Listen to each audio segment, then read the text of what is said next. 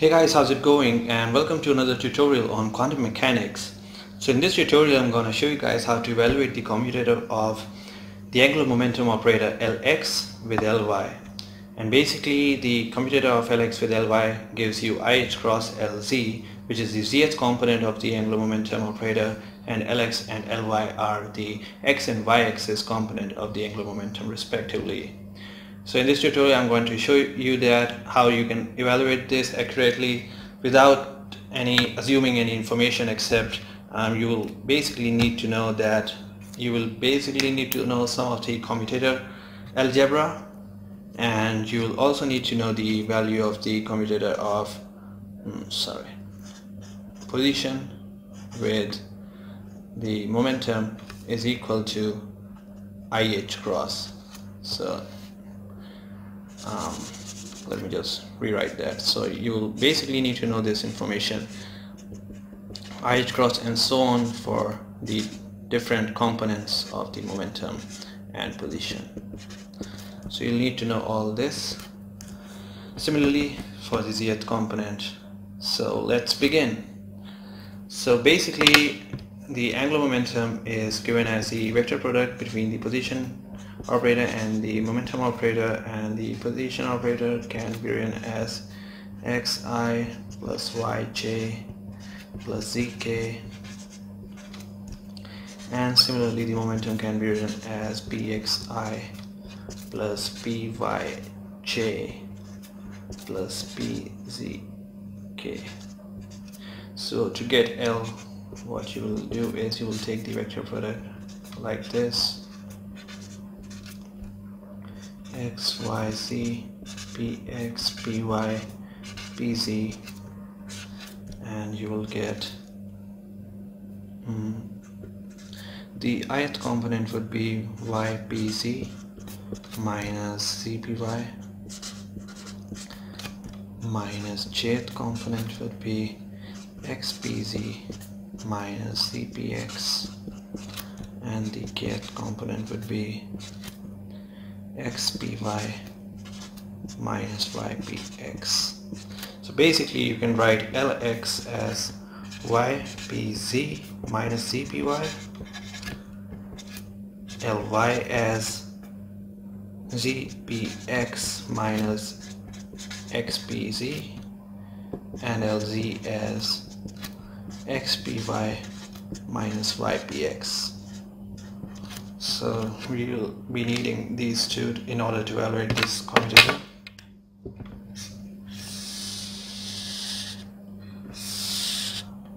so these are the different components of the angular momentum operator. Now we will plug these two in the commutator equation.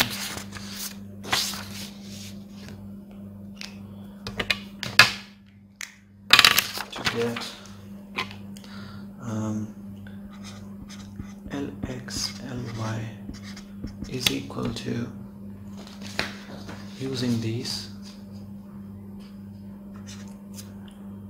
Ypz minus z.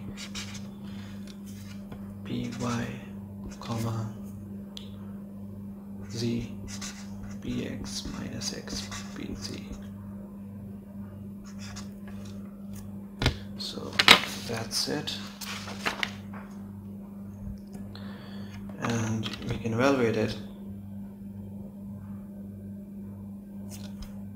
by using some of the basic commutator algebra. So that would give us um, y b c. Or let me just uh, put it let it stay here for a while and then write it as zpx minus x xpz minus zpy comma zpx minus xpz and then open these two further. And you would get ypz comma zpx minus ypz comma xpz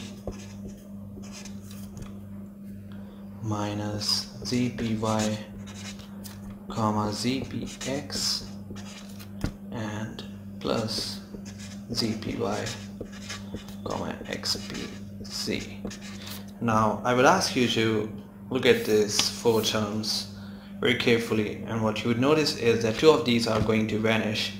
That is basically they are going to be zero. So how do you know that? So if you look at this term carefully then what you would notice is that there is no pair of variables that uh, that are not going to commute so basically each pair any pair of variables that you can form from this equation all of them are going to commute. So even if you open it further and further and you will have different pairs of different um, operators it won't matter because all those operator and all those pairs of operators and all those commutators are going to be zero. Because you can see that y commutes with x, y commutes with pz, pz commutes with pz and pz commutes with x, pz commutes with y. So in any case this whole term is going to vanish and you are going to end up with a big fat zero. So this is going to be zero. Similarly is there any other term like that? So maybe you can pause the video and think about it by yourself and try to see that. However I'll just tell you that another term like that would be this. So this term will also vanish because there is again no pair of operators that don't commute with each other. So these two terms are going to be zero while if you look at this and this the first and the last term then you will notice that there is necessarily a pair of operators that is not going to commute and that is going to give you a non-zero term. And the reason is here we have a pair that is z and pz so we know that pz and z don't commute with each other and we'll get a non-zero value. Similarly z and pz here don't commute with each other and we'll get a non-zero value so we can move on further to get um, so now we can just open these up and get y pz comma zpx plus the next term would be basically 0 so or maybe I can just go ahead and for the sake of clarity and do that also. So we will get y z p x p z and then we will open this term and get z py comma x p z plus z comma x p z py so here you can clearly notice that this commutator even though if you will open it further this is definitely going to be zero. So again this would go to zero and again if you it doesn't matter how much you further apply some algebra and open it it is again going to be zero. And the only two non-zero commutators are going to be these two. So evaluate them further.